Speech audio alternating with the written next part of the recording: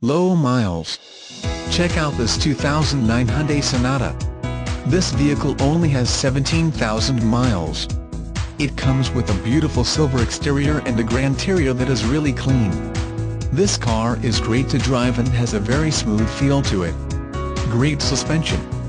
This car is also loaded with safety features, most of which come standard with this vehicle. Come in and take this car for a test drive today.